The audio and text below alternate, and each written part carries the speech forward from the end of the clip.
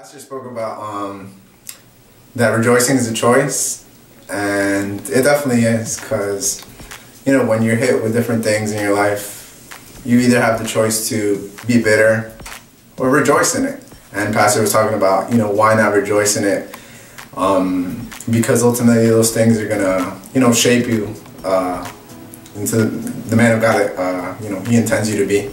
And uh, it kind of makes me think of kind of like a diamond you know, a diamond is carbon, it's a lump of coal. It's it's in Earth's crust, and Earth's crust is one that's like Earth's crust is um, putting so much pressure on it. And I believe you know we're each of us we're like God's diamond. He's putting like pressure on us, but ultimately He's gonna make us into a beautiful diamond. So we're a lump of coal, and He's gonna make us into something beautiful.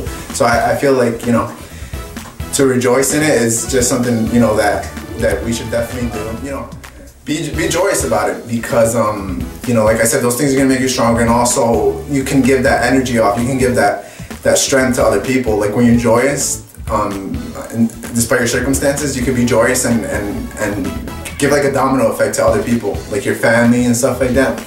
And you know ultimately they can you know see all oh, this person is rejoicing despite of his situation despite of his circumstances. Like why can't i do that? You know i should you know try to be a better person because of that. So you know ultimately we get you know these different situations God presents us with, and you know we'll become stronger. Well, what stuck out most in my mind was when the pastor said that um, for every affliction we have, the glory will be greater, and what I kind of related that to is in the word where it says um, that God inhabits inhabits the praises of His people.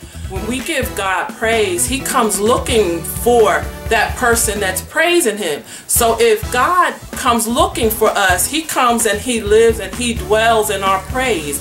And the darkness can't stay in that glory. So the more we praise Him, the greater the glory because God is right there in the midst of uh, our praise. And that's how we get the victory through our praise. Main message today was rejoice in the Lord always.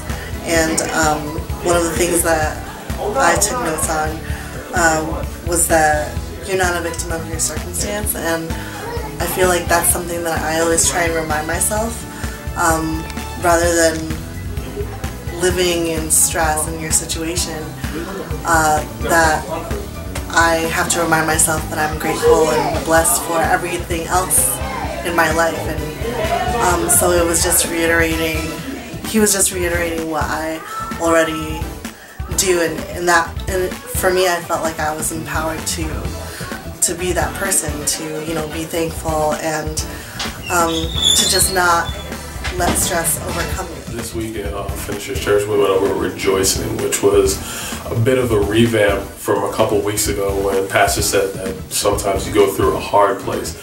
And not to not to focus on the hard place that you're in and just remember that you're going through it and to rejoice for the happiness that you have. And not to also talk about be happy for what you have right now instead of looking at what others have and what you're lacking. Just appreciate because even though you did wake up what seems like it's normal you weren't promised today rejoicing and rejoicing in your time of trouble, which was a good message because I just went through that and I overcame by rejoicing and not being weighed down by my, my troubles and my situation. Because it almost did get to me. It, it, it, I had a lot of pressure on me and everything, but just to rejoice and, and let it out and not let any of my circumstance and situation weigh me down was just was just just weight lifted off my shoulders. It, it, so the message today was perfect for what I was going through a, a few weeks ago, but it, it just brought everything to light for what I just went through, and I hope it blessed people as well as as well as it did me. I think that the message today, like most of the messages, are super relatable um, one of the things, or one of my personal mantras is that I'm blessed beyond circumstance and capable beyond measure. So today was one of those things that was able to touch me and recenter me on something that um, helps me get through things as a general rule.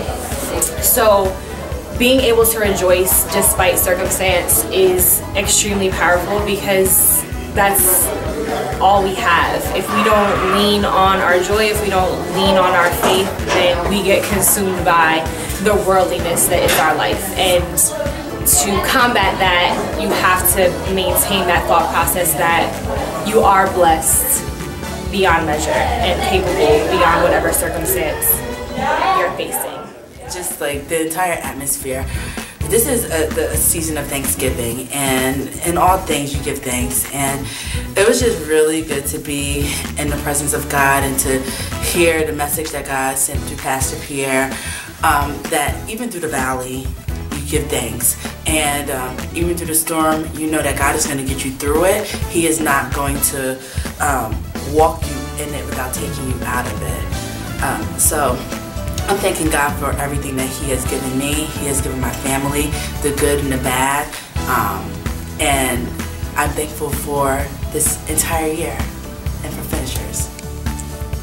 Um, well, I really enjoyed um, how Pastor kind of just broke down some of the things that could be hindrances to us being able to rejoice in the Lord at all times because um, he basically made the distinction between joy and kind of happiness. Your circumstances don't determine uh, your level of joy. You can have a lot of adverse circumstances going on in your life, but you can still maintain your spirit of joy throughout it all. So that was an encouragement to me because um, a lot of times we get caught up in the day-to-day things that happen and we lose our joy little by little. And so that was just a reminder that I, it's a choice. I can choose joy or I can choose to be angry or miserable or whatever the situation may be. So I, I thank God for that today. And also the fact of um, remind, Pastor reminded us about our blessings and how blessed we are.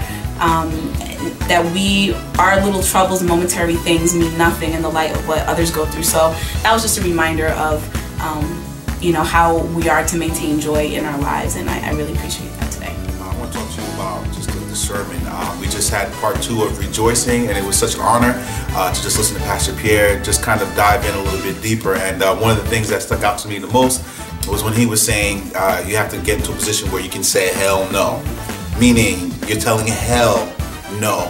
So the enemy is going to try to uh, come at you and try to steal your joy, uh, try to um, cause you to believe that uh, there's so many other reasons that you can't rejoice, but uh, having an overall spirit of rejoicing and choosing to rejoice and being able to say no uh, to hell and pretty much saying no to hell in your life and, and just making that decision to just rejoice in the Lord. And, and, and secondly, I just wanted to also dive into the point uh, that Pastor made about how the weight of the glory is going to be so much heavier than the weight of the affliction or the weight of the trial that you're going through. So hang in there, make a decision to continue to uh, to fight the good fight and rejoice regardless of what's going on in your situation and watch how God is just going to do tremendous things in your life. And again, if you're looking for a church home, Finishers Church is a wonderful place to be. Get yourself out here next Sunday. I'll be saving you a seat.